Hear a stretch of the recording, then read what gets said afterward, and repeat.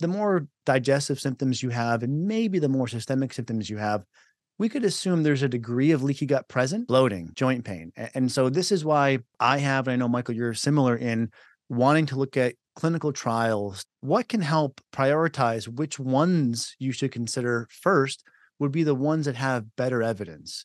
Let's first of all remove the stuff that may be damaging your GI tract, alcohol and non-steroidal anti-inflammatory drugs. And of course, if you have a propensity to develop celiac disease, then gluten in the diet is another factor. Now, having done that, based on the evidence that we have, supplementation of a galacto-oligosaccharide prebiotic, those seem to be the agents that that have the best benefit. And I mentioned glutamine as well. Is there a test that you would recommend people consider? The Department of Lab Medicine and Pathology at Mayo Clinic is in the process of uh, launching such a test to become available.